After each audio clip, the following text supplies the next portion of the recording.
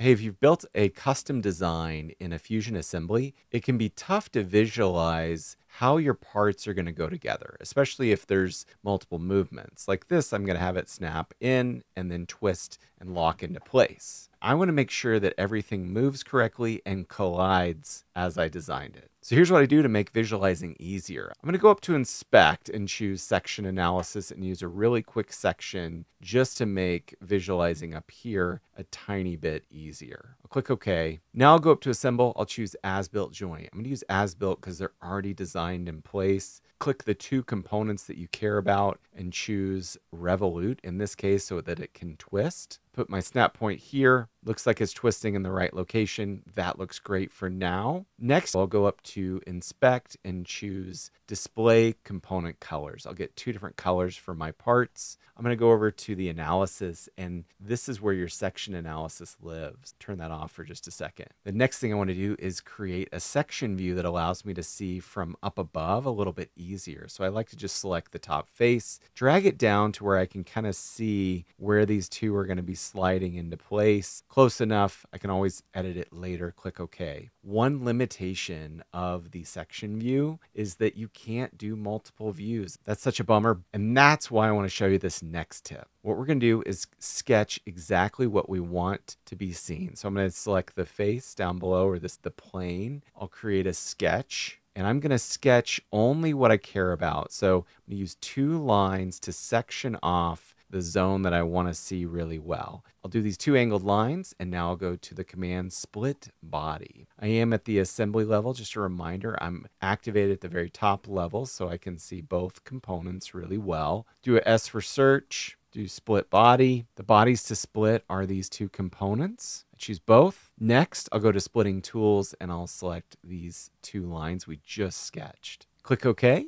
It now splits this up for you, and this is all for visual purposes for us.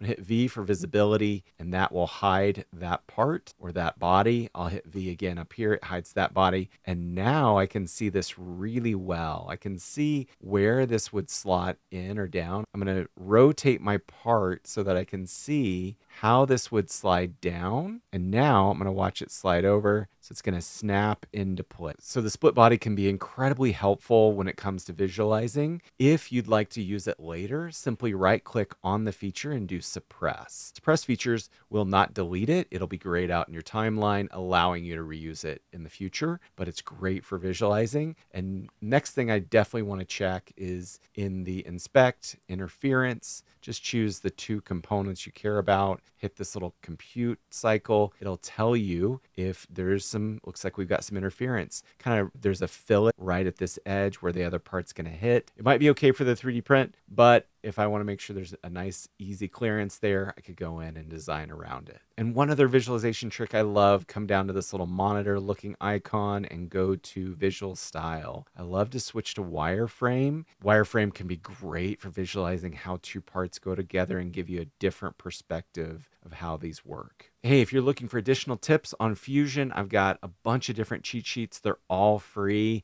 Go download them here. I'll put the link down below. I'll see you guys in the next video.